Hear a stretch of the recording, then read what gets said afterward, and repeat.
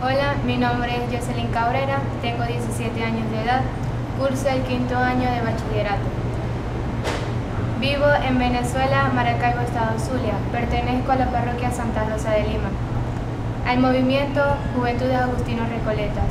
Ingresé al movimiento el 11 de octubre del 2014. Actualmente tengo dos años y cuatro meses en la JAR. Este, ingresé al grupo fue por medio de la confirmación. Y me hicieron una invitación y fui a una reunión y me encantó. En ese momento este, me di cuenta que yo pensaba que los, los grupos juveniles eran para rezar y eso, pero me equivoqué, porque este, conociendo más las cinco notas de nuestro grupo, eh, que son como pilares, me di cuenta de que sin oración nosotros no hacemos nada y tenemos que vivir en comunidad, misionar y tener siempre a María presente. Eh, siempre tenemos que estar ah, con nuestros corazones abiertos, ya que la iglesia nos llama a ser misioneros del mundo.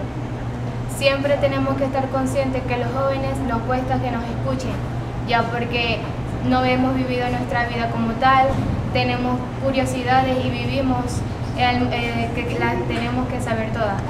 Pero estando en este grupo aprendí a hacer, a valorar más a mi familia y a comportarme bien, porque necesitamos que nuestros familiares nos apoyen y si le damos el buen ejemplo, el grupo juvenil crece más. Nosotros siempre estamos dispuestos a ayudar a las personas, sobre todo a los pobres misionamos en, este, en un lugar aquí de Maracaibo que nos, de verdad nos necesita y nos da mucho orgullo ver a esos niños que nos prestan atención.